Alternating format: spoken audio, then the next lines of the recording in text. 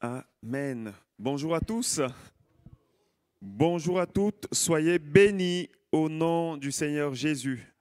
Bonjour aussi à ceux qui nous regardent sur euh, la chaîne YouTube de l'EME. Que la grâce et la paix du Seigneur soient avec chacun d'entre vous. Alors, je sais que Jean-Michel n'aime pas tellement ça, mais est-ce qu'on peut se saluer encore? Je saluer ton voisin de gauche et de droite.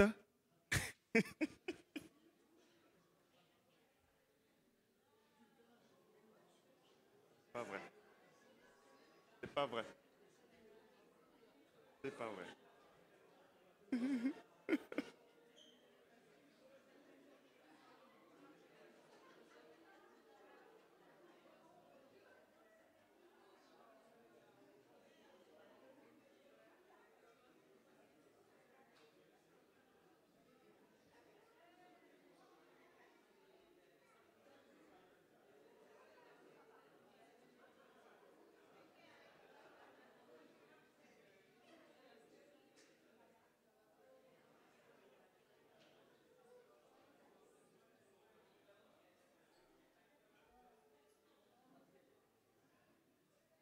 Soyez bénis.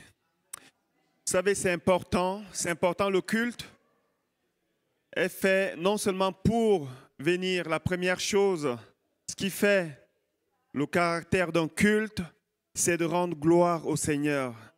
C'est de lui offrir notre louange, c'est de lui apporter notre adoration, mais également d'avoir une communion fraternelle entre nous. Amen. C'est quelque chose qu'il ne faut pas négliger parce que nous sommes dans un monde, dans une société qui est de plus en plus individualiste, où on ne fait aucun cas des autres. Ça, c'est l'esprit du monde. Et tout ce qui se passe dans le monde influence l'Église. C'est la raison pour laquelle c'est important de venir un petit peu à l'avance au culte de dimanche pour saluer les frères et sœurs. Et ne repartez pas tout de suite avant d'avoir dit bonjour à un frère ou à une sœur à qui vous n'avez pas dit bonjour. Je crois que cela plaît à notre Père. Amen. Maintenant, nous allons passer au message sans aucun doute.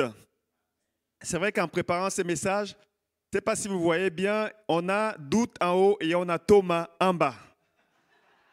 Et je me suis dit, après coup, tiens, encore un Thomas. Pour ceux qui arrivent, vous pouvez venir juste devant. Il y a les places devant.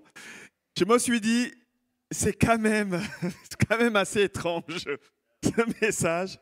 Un Thomas qui va venir parler de doute à l'Église. C'est pour ça qu'on a besoin que le Saint-Esprit nous conduise. Amen. Je vous prie de prier avec moi pour que la parole qui va être donnée non seulement trouve en nous des cœurs fertiles, mais qu'elle vienne également nous transformer. Amen. C'est le but de la parole de Dieu, qu'elle vienne aussi affermir notre foi, qu'elle nous éclaire, qu'elle nous aide dans notre marche spirituelle avec le Seigneur. Prions. Seigneur, nous voulons te remercier pour ta parole. Nous savons qu'elle est au commencement de toutes choses et toutes choses ont été faites par elle. Rien de ce qui a été fait n'a été fait sans elle. Et en elle est la vie. Et Seigneur, nous demandons ta grâce ce matin afin que cette parole que nous allons apporter soit esprit et vie. Nous le savons tellement bien, Seigneur, ce n'est pas ce que nous apportons qui va transformer, mais ce que toi tu fais, Saint-Esprit. C'est pour ça que nous te soumettons maintenant toutes choses, Saint-Esprit, en te demandant de venir nous couvrir comme tu as couvert Marie. Enfin, Seigneur, que cette parole non seulement soit enracinée dans des cœurs fertiles, mais qu'elle nous transforme, qu'elle affermit notre foi, qu'elle vienne nous éclairer dans notre marche avec toi. Qu'elle vienne encore, Seigneur, mon Dieu, faire ce que tu as résolu de faire dans nos vies, qu'elle ne retourne pas à toi sans effet. Nous savons qu'elle est précieuse, Seigneur. C'est pour ça que nous voulons la garder, nous voulons la méditer, nous voulons la repasser dans nos cœurs. Merci pour ta parole que nous bénissons maintenant. Seigneur Jésus, je me tiens maintenant sous ton autorité. Utilise-moi selon ta volonté, pour ta gloire. Amen. Amen. Thème de ce matin, parole de Dieu. Et c'est sans aucun doute, je tiens à remercier aussi mon frère, mon ami Christian, qui tous les dimanches nous fait ces visuels. Que le Seigneur te bénisse. un ami fidèle. Ce message fait suite aux différents messages que nous avons eus déjà toutes ces dernières semaines sur la parole de Dieu. Il y a un fil conducteur, je crois, que le Seigneur nous a donné, alors même que tous ceux qui ont prêché, nous ne nous sommes pas accordés pour savoir ce que nous allions apporter. Tout ce que nous avons fait, c'est de prier et de demander à Dieu, qu'est-ce que tu veux dire à ton peuple? C'est important, chaque fois que nous apportons la parole, de nous mettre devant le Seigneur et de dire, Saint-Esprit, qu'est-ce que tu veux dire à l'Église? Et je crois sans aucun doute que le Seigneur nous a conduits à mettre un accent particulier sur sa parole. Et vous savez que la parole de Dieu, elle est au commencement de toute chose. Chaque fois que Dieu veut agir, qu'est-ce qu'il fait? Il parle. Il parle. Dans cette parole également, il y a la vie, la Bible nous dit. La parole de Dieu est aussi là pour affermir notre foi, car il est dit que la foi vient de ce qu'on entend, et ce qu'on entend vient de la parole de Christ. Amen. Elle est là aussi pour nous équiper. Elle est là comme une arme, une arme offensive, comme l'épée de l'Esprit. Chaque fois que nous proclamons la parole de Dieu par le Saint-Esprit, c'est pour ça qu'il est dit que c'est l'épée de l'Esprit, nous neutralisons et nous paralysons les puissances des ténèbres qui nous attaquent. C'est la raison pour laquelle il est important de comprendre cette parole. Je rappelle juste les derniers thèmes qu'on a eus ces dernières semaines. Alors ça a commencé par entendre la voix de Dieu et lui obéir. Entendre la voix de Dieu, il est important d'écouter Dieu. Écouter, c'est pas seulement recevoir, entendre ce qu'il nous a dit et ensuite on ne fait rien avec ce qu'il nous a dit. Il est important de l'écouter, de l'entendre et aussi de lui obéir. Du reste, Dieu ne nous demandera jamais de faire quelque chose sans nous aider à lui obéir. C'est nous, quelquefois, qui résistons. Mais Dieu, lorsqu'il parle, il est aussi là pour nous aider à mettre en pratique ce qu'il nous dit. Deuxième thème, c'était le silence de Dieu. On a parlé du silence de Dieu. Quelquefois, Dieu fait silence. Si vous n'avez pas écouté ces messages, allez sur notre chaîne YouTube, réécoutez ces messages comme ça. Vous allez pouvoir mieux comprendre ce qui va être apporté ce matin.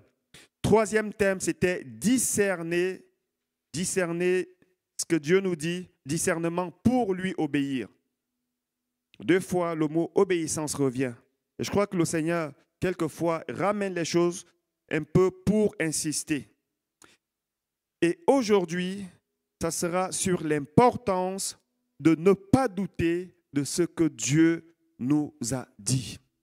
De ce que Dieu nous a dit. Et pour rappel, Dieu parle tantôt d'une manière, tantôt d'une autre. On l'a déjà dit, on l'a redit, je le redis encore ce matin.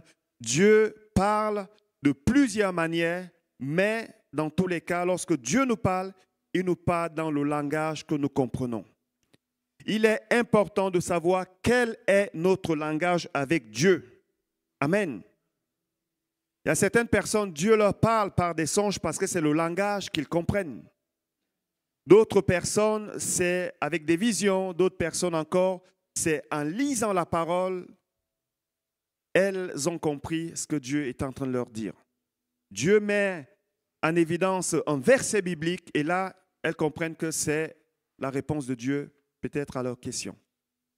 Dieu parle parfois de manière euh, par conviction, par conviction, et je crois que l'endroit où Dieu nous parle le plus dans ces temps-ci, c'est dans notre conscience, dans notre cœur, dans notre cœur du moins pour ceux qui ont reçu le Saint-Esprit.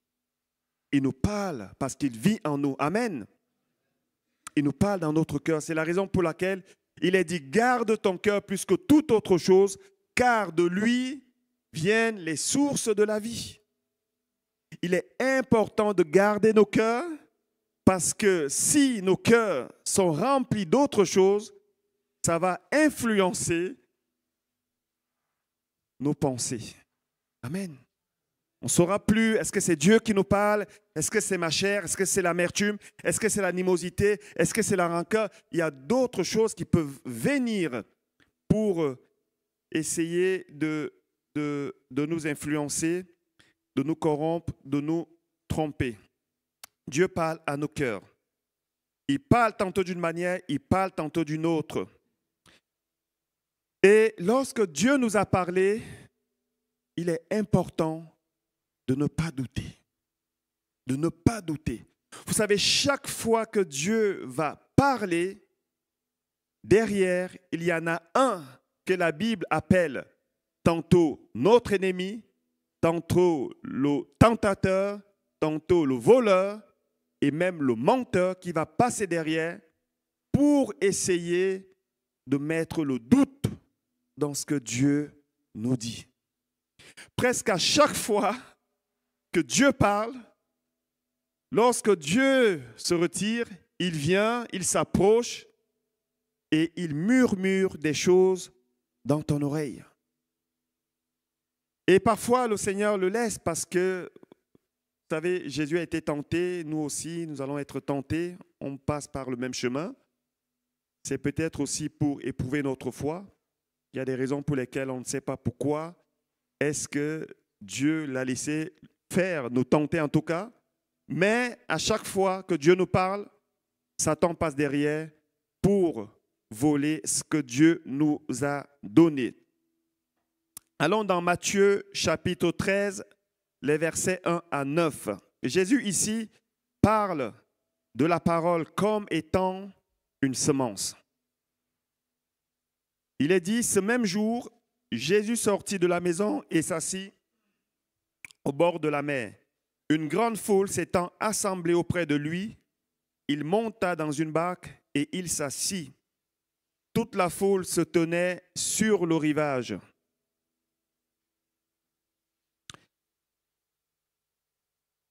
Nous avons la même version qui s'affiche ou pas?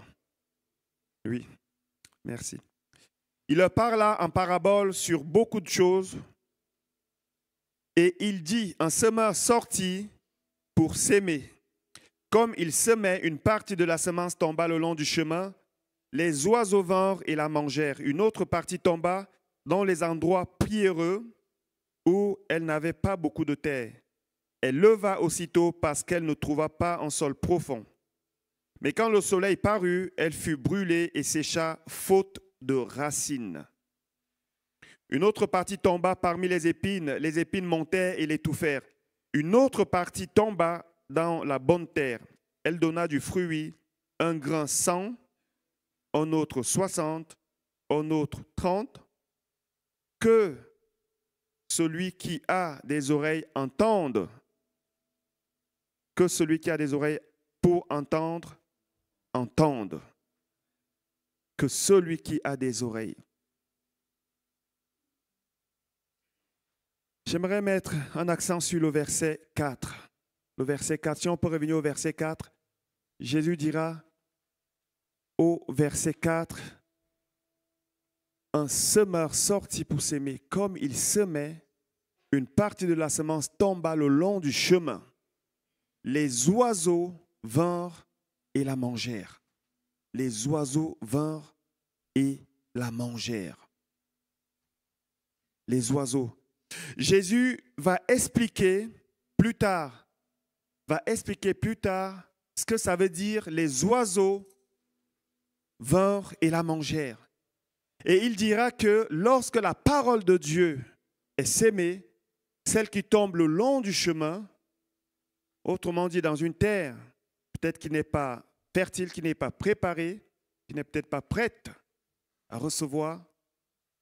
Le diable passe derrière et il arrache ce qui a été semé. C'est ce que la Bible nous dit. Il passe derrière et il arrache ce qui a été semé pour que la personne ne garde pas la parole de Dieu. C'est ce qu'il fait tout le temps. Et j'aime bien ce que Jésus va dire au verset 9 de ce que nous avons lu avant, que celui qui a des oreilles pour entendre, entende. il y a plusieurs reprises, vous savez, Jésus a répété ça, c'est dans les sept, euh, quand il s'adresse aux sept églises de l'Apocalypse, il finit toujours que celui qui a des oreilles entende ce que l'Esprit dit à l'Église. Et c'est assez étonnant que Jésus parle ici de cette manière à des personnes qui sont, qui ont des oreilles et par conséquent qui sont censées déjà entendre. Entendre. Je pense que si nous avions été là, peut-être que ce, ce, verset, alors il a déjà été expliqué, vous l'avez déjà certainement écouté dans certaines prédications. Et aujourd'hui, on comprend que Jésus, ce qu'il est en train de dire, c'est de considérer la parole, d'avoir de l'importance, d'avoir de, de, de l'attention pour cette parole, de la recevoir, de faire, de prêter attention pour comprendre le langage spirituel qui est donné par lui. Aujourd'hui, on le comprend.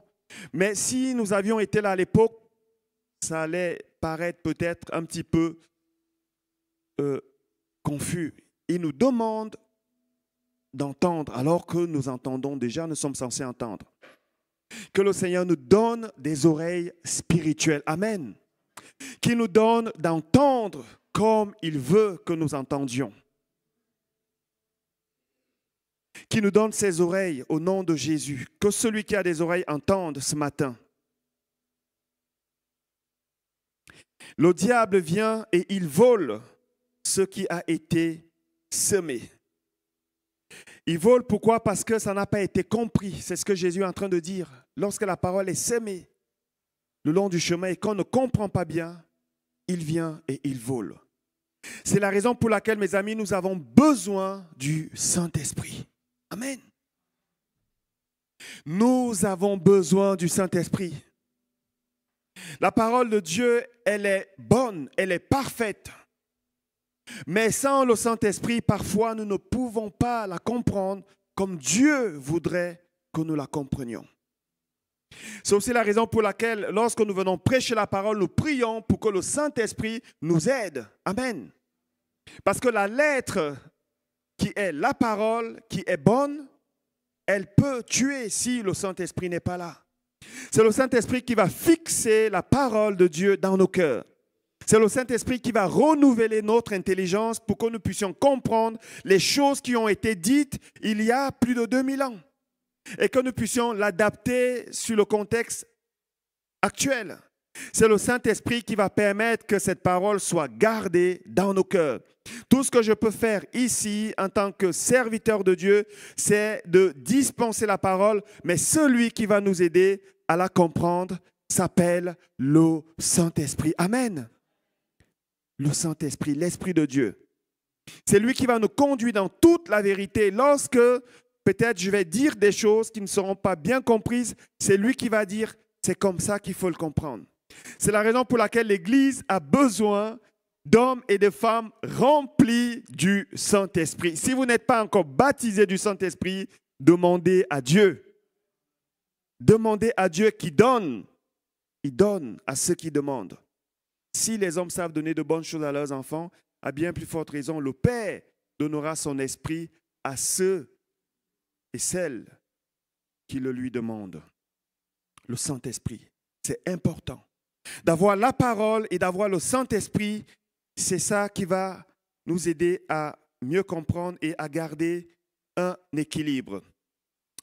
Nous avons au commencement de toute chose déjà, nous voyons déjà ce caractère du diable. Pour revenir au diable, j'ai failli nommer ce message le diable, Satan, le menteur. Le menteur, le voleur. Je me suis dit, ben, tiens, on ne va pas mettre trop d'importance sur lui, mais la Bible parle quand même de lui au commencement de toutes choses, lorsque Dieu a créé l'homme et la femme, lorsque Dieu a créé l'homme, premièrement Adam, le premier homme, il va lui parler, il va lui donner des, instructions. C'était une parole qu'il était en train de donner à l'homme. Adam, voilà, je t'ai créé, j'ai tout préparé pour toi, tu es dans un jardin de délices, c'est ce que ça veut dire Éden. Tu n'as rien à faire, juste l'entretenir. J'ai déjà tout planté, tu as déjà à manger, tu as tout ce qu'il faut et je vais venir chaque soir parler avec toi. La présence de Dieu comblait Adam. C'était une présence physique au Jardin d'Éden.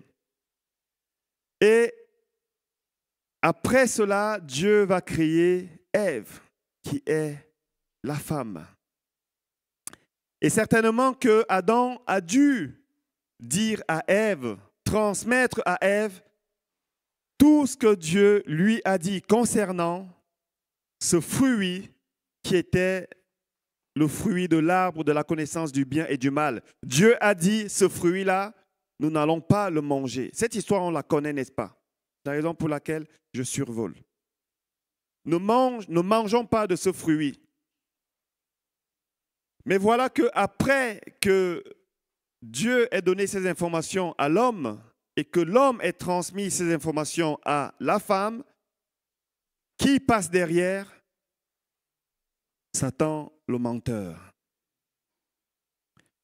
Et qu'est-ce qu'il vient dire à la femme?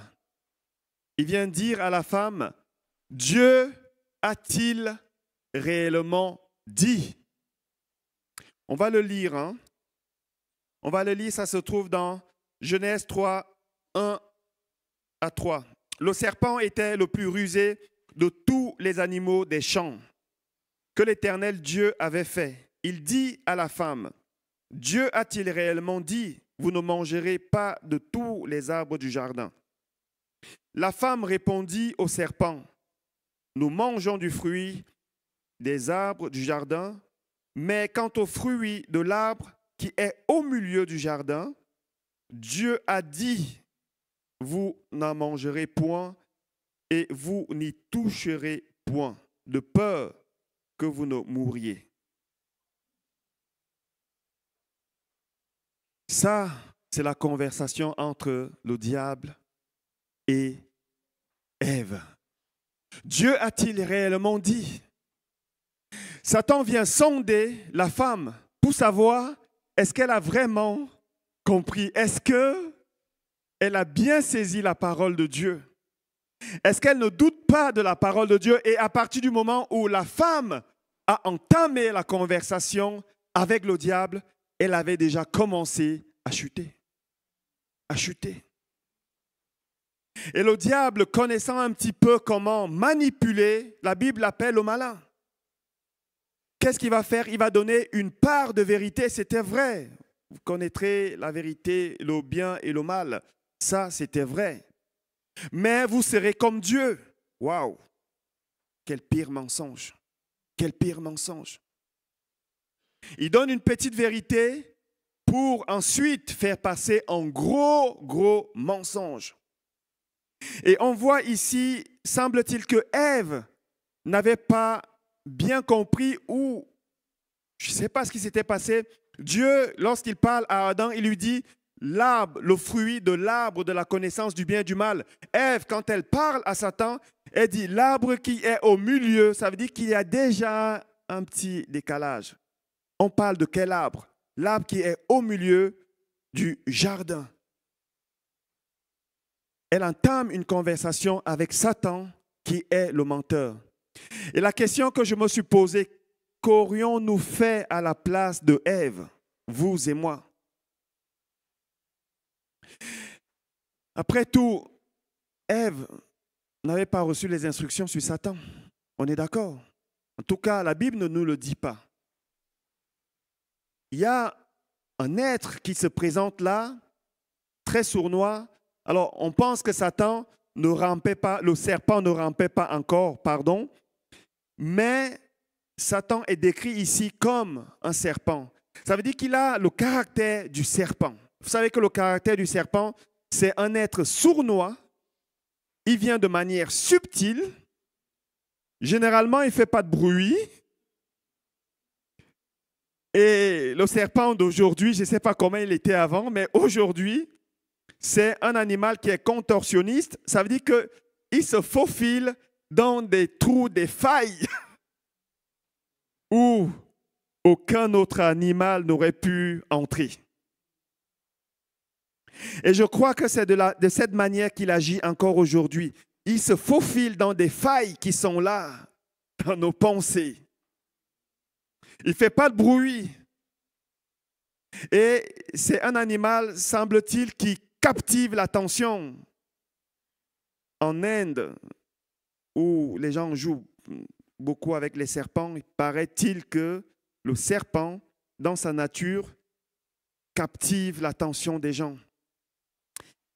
C'est un séducteur. Et Satan ici, il s'approche de cette manière-là, de manière sournoise, de manière subtile, pour s'aimer le doute. Ce que je dis souvent aux gens, c'est que même, vous savez, Satan, parfois, il y a des voyants qui disent parfois des vérités. Derrière, bien sûr, il y a des mensonges. Il y a cette femme que Paul va agacer, va chasser d'elle un esprit de python. Vous connaissez l'histoire, hein? qui, venait lorsque Paul et son compagnon étaient venus pour prêcher la parole. Cette femme qui a un esprit de python va dire, ce sont les serviteurs du Dieu vivant. Ils sont venus vous annoncer la parole, comment être sauvé. Et dit la vérité. Mais même quand Satan dit la vérité, il ne faut pas l'écouter, mes amis. Il ne faut pas l'écouter. Parce que sa vérité cache souvent un gros mensonge. Et à cause de ça, l'homme va chuter, entraînant avec lui toute l'humanité, toute l'humanité dans sa chute. Ça c'est interpellant, je fais une parenthèse, je fais une parenthèse, ça c'est interpellant la manière dont la manière dont Dieu vient s'adresser à l'homme après cela. Je ne pense pas que Dieu ignorait ce qui était en train de se passer. Je pense juste que Dieu laisse la liberté à chacun de choisir entre le bien et le mal, entre sa parole à lui et celle qui vient de l'ennemi. Lorsque Dieu s'approche de Adam et qu'il appelle Adam, Adam dit, on a entendu que tu étais en train de venir et on s'est caché parce qu'on est nu. Et Dieu lui dira, mais qui t'a appris que tu es nu? Cette information vient de qui? Et bien sûr, l'homme répondit, hmm, la femme que tu as mise à mes côtés, c'est elle la responsable. Un dédouanement facile. Trop facile. Dieu, lorsqu'il vient, il appelle qui? Adam. Il appelle Adam. Lorsque Jésus vient dans parler aux sept églises de l'Apocalypse, il s'adresse à qui? Il s'adresse aux responsables d'église, aux pasteurs, à l'ange. Le mot ange là veut dire envoyé. Ce sont les responsables de l'église. Il ne vient pas vers chaque personne dire, il s'adresse à cette personne. Lorsque Dieu vient pour euh, détruire Sodome et Gomorre, il a placé Abraham là comme étant la personne qui avait un petit peu l'autorité, le représentant, le serviteur de Dieu, il vient, il parle à Abraham avant de le faire. Lorsqu'il veut parler, il veut détruire le peuple qui est sorti de l'Égypte, il parle à qui? Il parle à Moïse. Et il ne fait rien sans que Moïse ait dit, OK Seigneur, nous sommes d'accord. Ça nous montre quelque chose, mes amis, le sens de, des responsabilités. Le sens des responsabilités. C'est pas pour rien que la Bible dit que l'homme est le chef de la femme. Et c'est pas pour rien que la Bible dit également femmes, soyez soumises à vos maris. Si Ève s'était soumise à Adam, puisque c'est Adam qui lui a dit, Dieu nous a dit de ne pas le faire, je pense qu'on aurait peut-être évité tout le chaos que nous avons aujourd'hui. Vous savez, mes amis, la parole de Dieu, elle ne ment pas. Elle ne ment pas. Et comme je l'ai souvent dit, permettez-moi de toujours apporter cette parole dans un esprit de grâce, mais aussi de vérité. Nous avons besoin de prendre la parole de Dieu comme elle nous est transmise. Amen. On est en 2024 où il y a une telle influence du monde, égalité hommes-femmes, les féministes et tout. Aïe, la parole de Dieu demeure éternellement. L'herbe sèche, la fleur tombe, mais la parole de Dieu demeure éternellement. Le sens des responsabilités, je l'ai compris en tant que pasteur. Vous savez, m'est arrivé des fois de dire, Seigneur, c'est ton église, vous savez comment on prie lorsqu'on n'en peut plus d'un frère ou d'une sœur, on a tout essayé. Seigneur, s'il te plaît, débrouille-toi avec. Et quelquefois, le Seigneur m'a repris, non, non, non, à toi de lui dire, à toi de lui dire. Si la personne ne t'écoute pas, ok, mais tu dois lui dire quand même. Et si tu ne lui dis pas, c'est entre toi et moi. Et il m'est arrivé parfois de ne pas dormir la nuit jusqu'à ce que je craque, je lâche en disant, ok Seigneur, j'ai compris. Le sens des responsabilités, mes amis, hommes, soyons responsables. Ne désertons pas, ne mettons pas de côté nos responsabilités parce que Dieu nous en demandera des comptes, comme il a demandé à Adam. Adam n'a pas pu échapper. Ça, c'est une parenthèse, je la ferme. Ici, on voit Satan qui vient pour tenter. Il va réussir son coup, il va le réussir très bien. Il va réussir très bien son coup.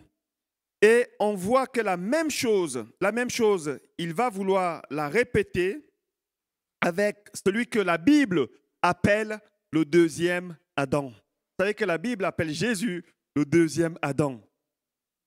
Satan pensait qu'il avait réussi son cours et que c'était fini. Et Dieu dit non, ce n'est pas encore fini. C'est moi qui suis quand même Dieu. Dieu aurait pu détruire, exterminer Adam et Ève, c'est bon, ces deux personnes, on les tue, c'est bâclé. Mais comme je le dis souvent, si Dieu ne l'a pas fait, c'est parce qu'il voyait au travers d'Adam chacun d'entre nous. Amen. Chacun d'entre nous était déjà créé dans la pensée de Dieu. Si Adam et Ève ont péché, Dieu, ok, il s'est fâché contre eux, il s'est mis en colère contre eux, mais il y a mon enfant Everaldo qui allait venir à travers Adam et Ève.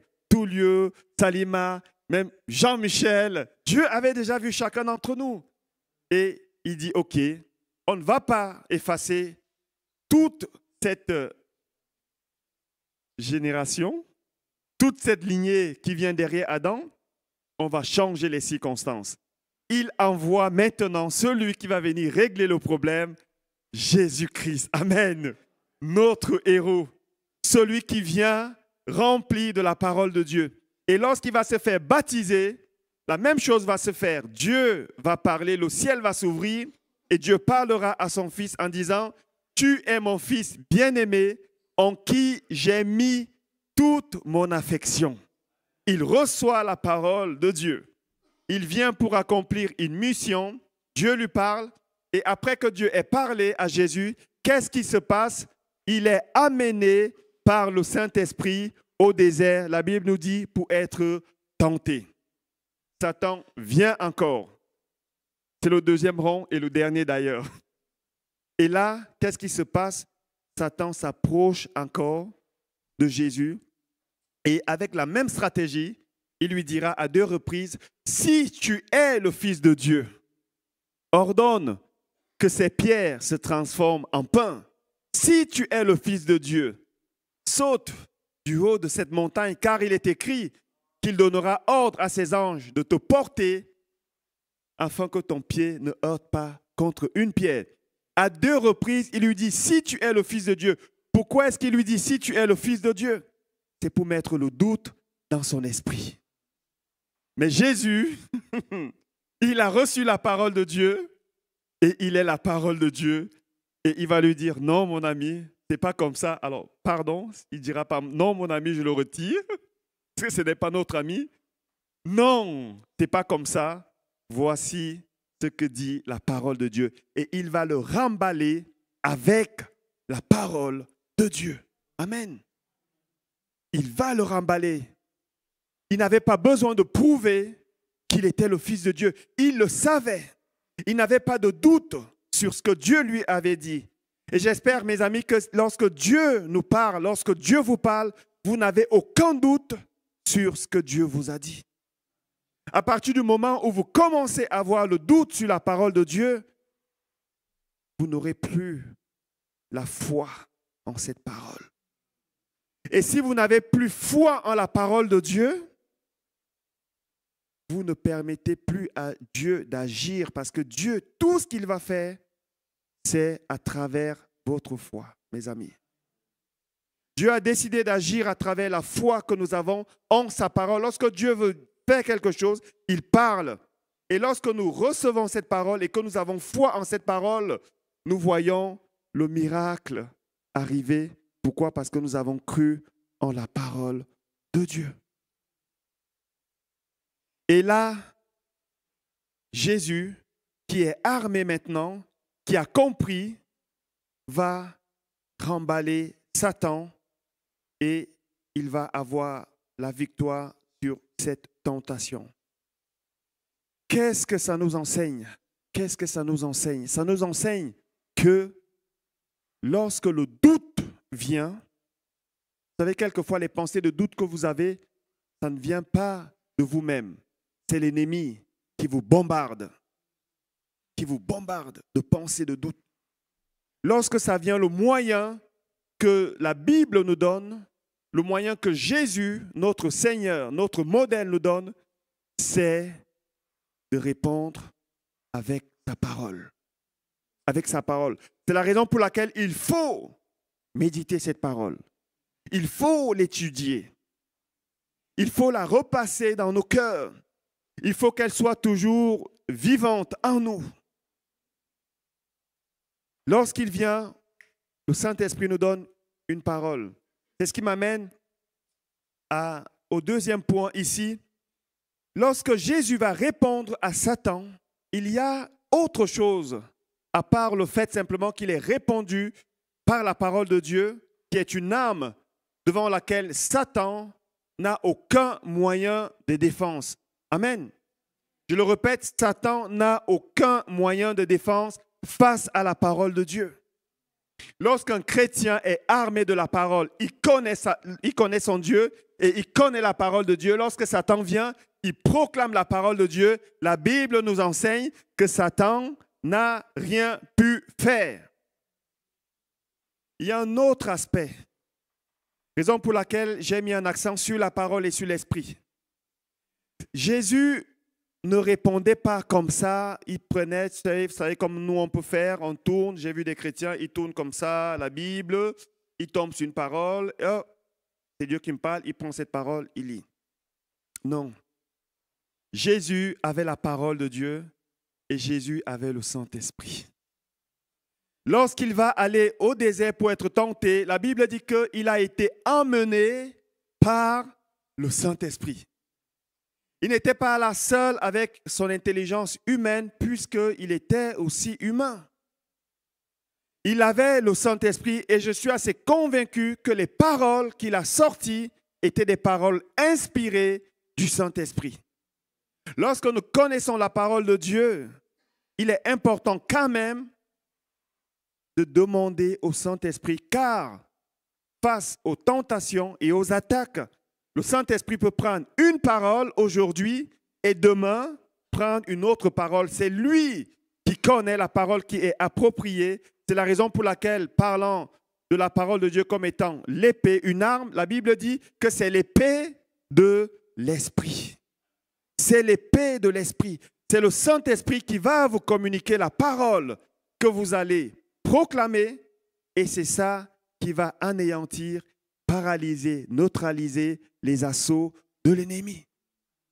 Important d'avoir la parole de Dieu et d'avoir le Saint-Esprit qui nous aide à la libérer. Le Saint-Esprit est là pour nous aider. J'aimerais maintenant appeler les musiciens et aller vers la conclusion de mon message en disant ceci. Je l'ai dit, je le redis encore aujourd'hui, Dieu parle encore. Amen. Dieu parle encore. Est-ce qu'on peut le dire Dieu parle encore? Dieu parle encore. Notre Dieu, celui en qui nous avons cru, celui qui a donné son Fils à la croix, celui qui a envoyé sa parole dans le monde et qui s'est incarné dans la personne de Jésus, ce Dieu parle encore. Il fait encore des promesses. Il est encore Dieu. Qu'on ne nous monte pas, qu'on le sente ou qu'on ne le sente pas, la parole de Dieu est la vérité. Elle est encore d'actualité. Elle n'a pas de date de péremption. Et le Saint-Esprit est là et il nous parle encore. Il nous parle encore. Il nous parle même dans les détails de nos vies. Il nous enseigne, il nous conduit dans toute la vérité qui concerne même l'alimentation, même les choses simples. Je vais terminer avec ce petit témoignage. Nous avions une visite ce week-end. Mon épouse et moi, on a sa famille qui est venue nous rendre visite. Ils sont partis de Lyon. Et le matin, hier matin, on se réveille et on prie.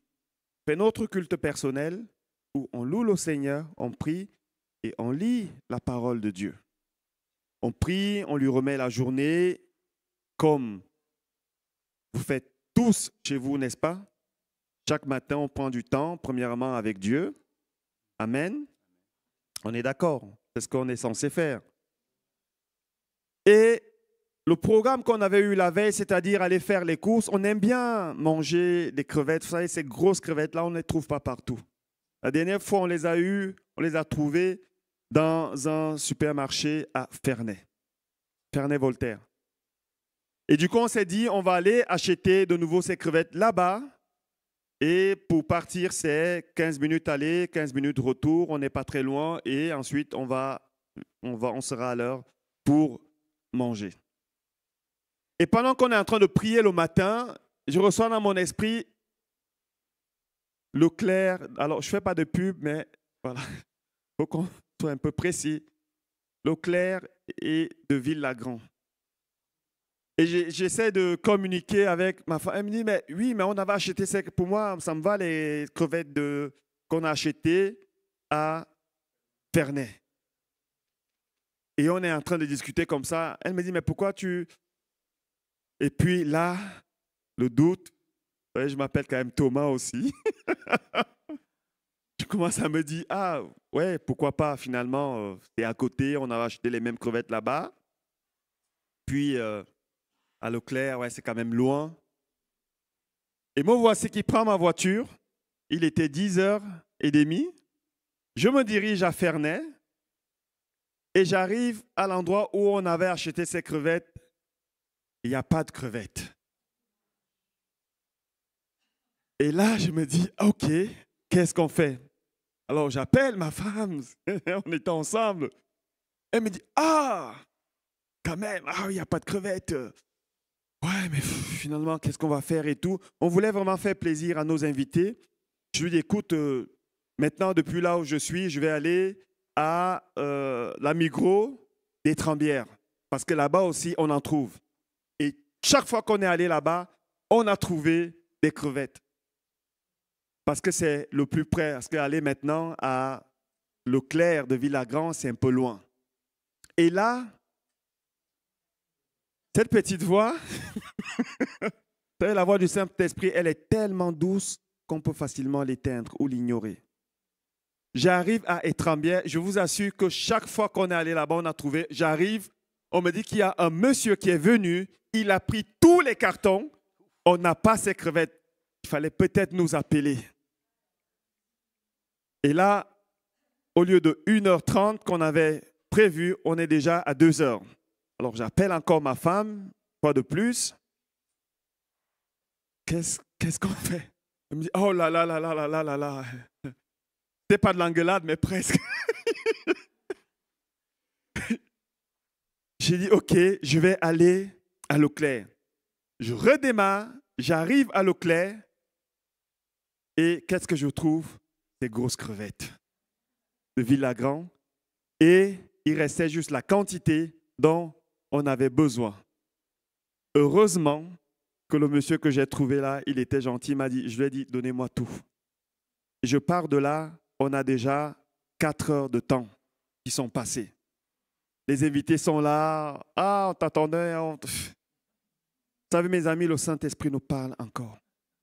Pourquoi est-ce que je vous dis ça? C'est aussi pour vous montrer que ça nous arrive à chacun d'entre nous de douter.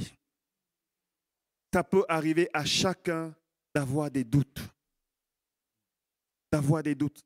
C'est la raison pour laquelle il faut, je pense, dans ces temps où nous sommes, mes amis, faire plus attention à ce que Dieu nous dit. À ce que Dieu nous dit. Heureusement, il est là pour attraper les choses, pour nous ramener dans sa parole, pour nous rediriger. Mais, mes amis, il est important de prendre au sérieux la parole de Dieu et de ne laisser aucun doute lorsqu'il nous a parlé. C'est le message que Dieu m'a mis à cœur de vous communiquer ce matin. Il y a autre chose aussi. Je crois que Dieu a parlé à chacun d'entre nous. Il y a des promesses qu'on a reçues de la part de Dieu qui ont été volées et qui peut-être aujourd'hui, on a l'impression que ce n'est plus Dieu qui nous avait parlé. Dieu va ressusciter ces promesses dans les cœurs. Amen. Ça concerne peut-être vos enfants, ça concerne peut-être vos familles, ça concerne peut-être un domaine que j'ignore. Et peut-être lorsque j'étais en train de prêcher, le Seigneur a réveillé le souvenir de cette parole dans vos cœurs. Je crois qu'il veut donner vie à cette parole. Amen. Pour que vous ayez, pour que nous ayons foi en sa parole. Et lorsque nous avons foi, cela va s'accomplir. Je propose que nous prenions encore un cantique il y a un cantique que j'ai bien aimé ce matin. Je désire entendre ta voix. Et ensuite, nous allons prier.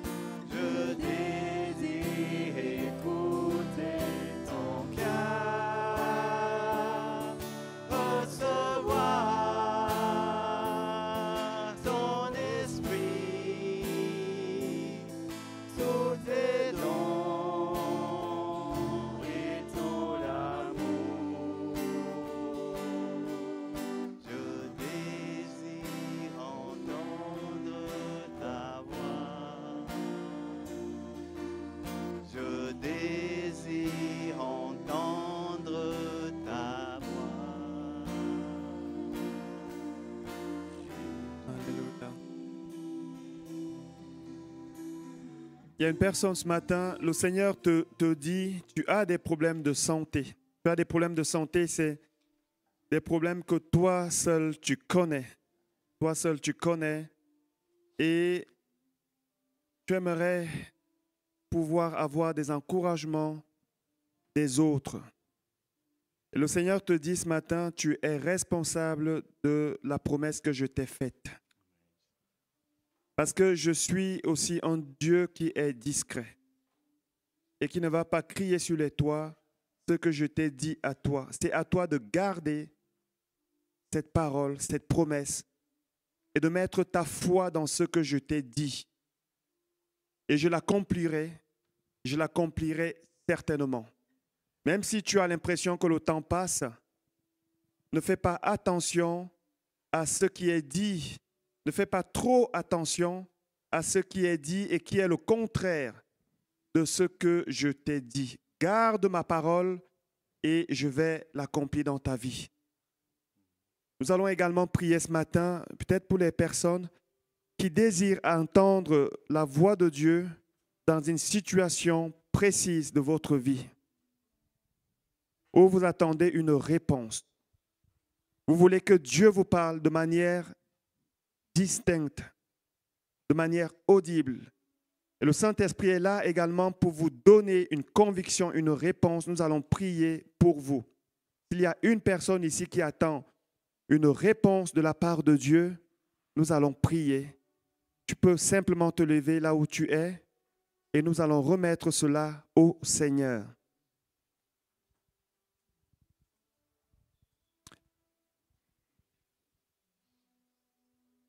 Seigneur, merci parce que lorsque tu envoies ta parole, tu envoies également l'onction qui va avec. Et Seigneur, ce matin, nous venons en toute humilité devant toi, te remettre, Seigneur, mes frères, mes bien-aimés qui se sont levés et qui attendent une réponse de ta part. Nous savons que tu es Dieu et nous savons que tu parles encore. Tu es notre Père et tu nous as donné le Saint-Esprit qui nous conduit dans toute la vérité. Seigneur, apporte une réponse, s'il te plaît, aux personnes qui se sont levées maintenant, afin qu'elles reçoivent de manière distincte ta parole, afin qu'elles mettent leur foi dans ta parole.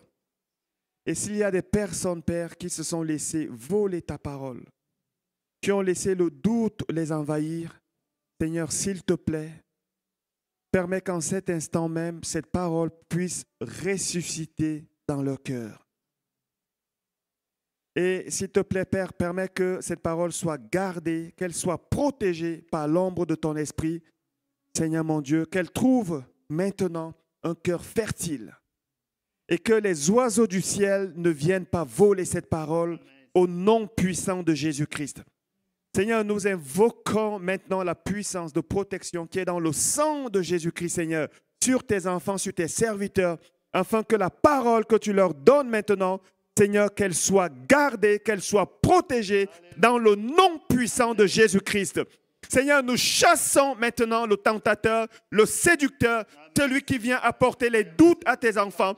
Nous le chassons car tu nous as donné autorité sur les serpents, les scorpions et sur toute la puissance de l'ennemi, afin que rien ne vienne nous nuire. Tout ce qui est venu pour nuire, mes frères, mes sœurs, que ces forces soient maintenant chassées par l'autorité de Jésus-Christ au nom de Jésus. Amen. Amen. Amen. Amen. Que le Seigneur vous bénisse. Dieu va faire sortir la parole qu'il a mise dans vos cœurs. Amen. Chaque fois qu'on prie et qu'on demande, en tout cas je l'ai expérimenté tellement de fois, Dieu parle. Le temps que cette réponse vienne dans notre intelligence, parfois ça prend du temps, mais Dieu va vous convaincre. Amen. Et lorsque vous allez recevoir cela, gardez-le. Gardez-le. Je vous en supplie, au nom de Jésus, gardez sa parole. Amen. Que le Seigneur vous bénisse, que le Seigneur vous fasse grâce, que le Seigneur vous protège, que le Seigneur vous renouvelle puissamment par sa parole et par son esprit. Au nom de Jésus, soyez bénis. Nous allons passer maintenant aux annonces. Si vous avez, par rapport à ce qui a été communiqué, avez besoin d'un entretien, parlez, avec moi en toute discrétion. N'hésitez pas à me contacter. Nous pouvons prendre rendez-vous aussi. Nous pouvons vous accompagner aussi. Parfois, ce n'est pas évident lorsqu'on est seul. Samuel a dû demander, a eu besoin de l'aide du sacrificateur Élie pour reconnaître que c'est Dieu qui était en train de lui parler. Mercredi, nous avons notre rencontre de prière ici à 20h.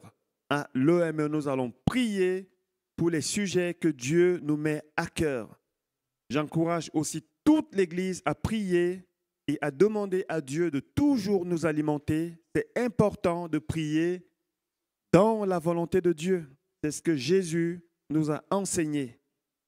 Prier pour que la volonté de Dieu qui est faite au ciel soit faite sur la terre. Amen.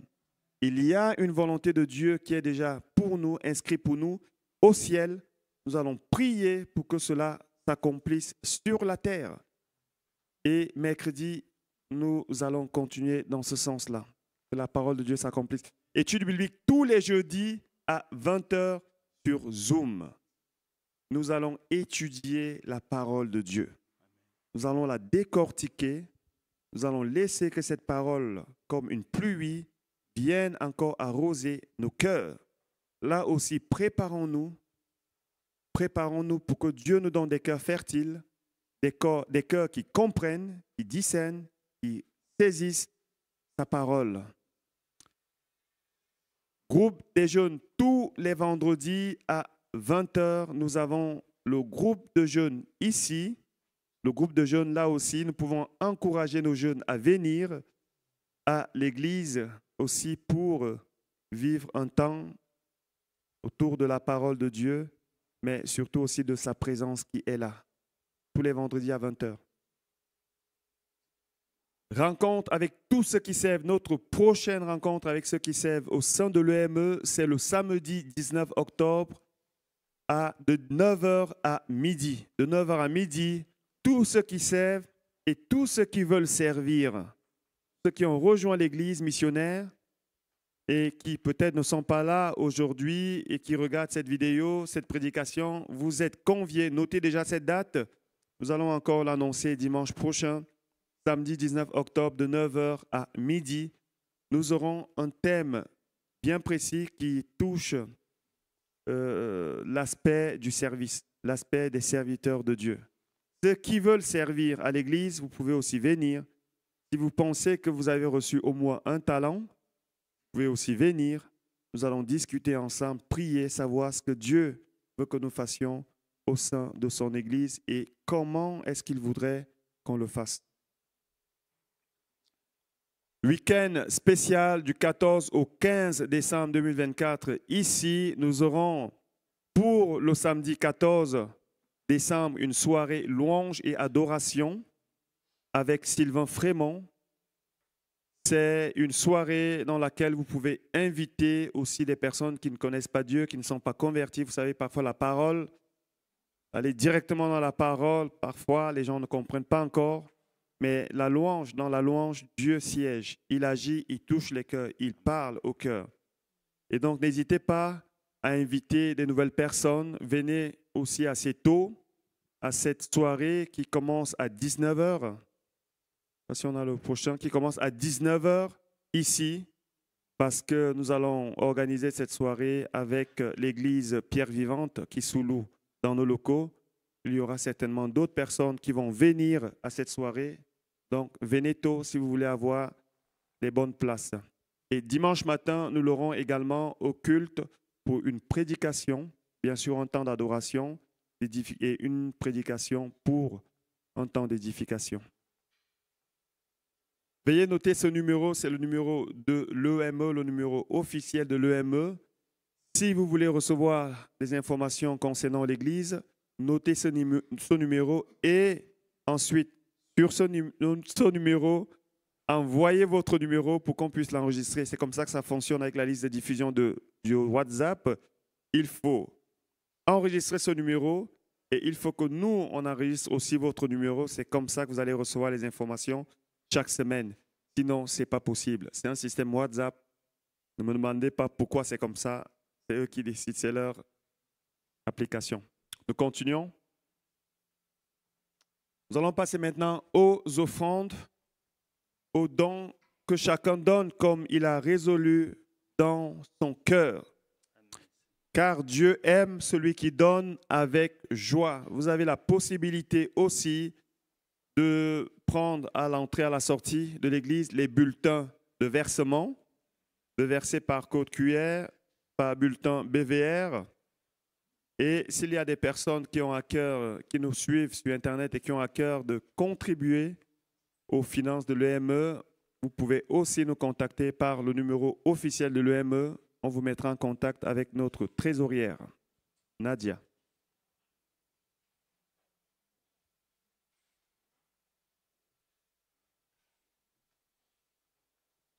Alors, il me semble qu'il y a une nouvelle personne ce matin.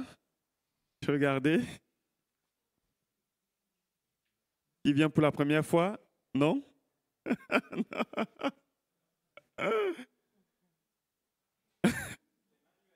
Emmanuel. Manuel, ok. Presque. Manuel. Comment tu t'appelles? Ah, comment tu vas En fait, c'est rhétorique. Comment tu, comment tu vas, Emmanuel? Ok. Et comment tu vas? D'accord. Alors, Manuel, il comprend que l'anglais. C'est pour ça que Michel est à côté pour interpréter. Je crois que ça m'encourage encore parce que je me suis mis au cours d'anglais maintenant. Nous sommes une église pour tous.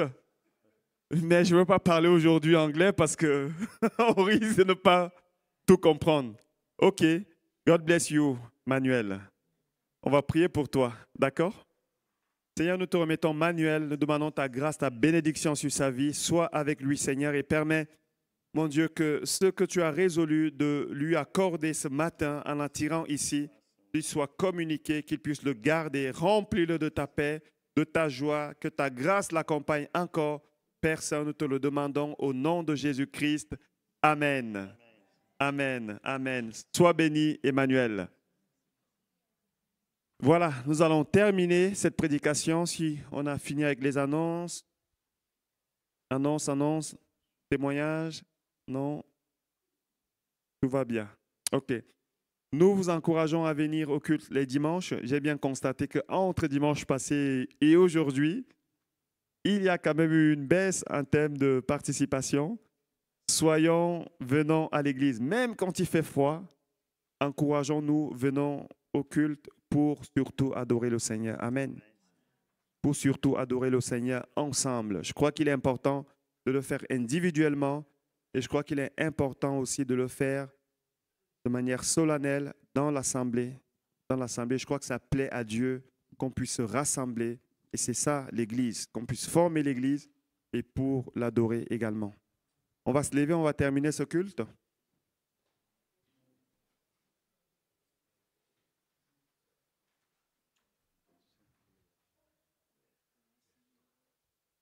Seigneur, que les choses qui ont été dites ce matin soient, bien comprises, qu'elles soient déposées dans nos cœurs par le Saint-Esprit, qu'elles soient gardées, qu'elles soient conservées, que nous puissions, Seigneur, les mettre en pratique avec ton aide, bien sûr.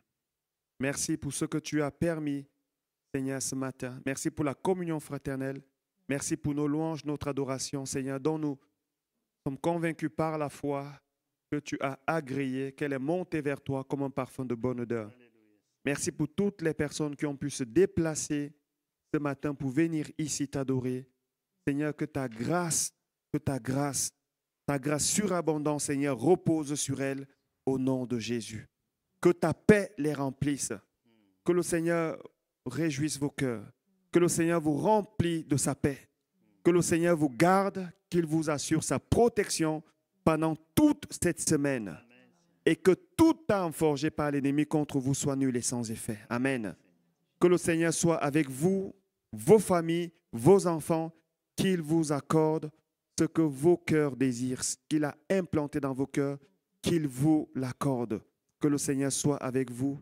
Au nom de Jésus, soyez bénis. Bon dimanche et bonne semaine. Soyez bénis au nom du Seigneur Jésus.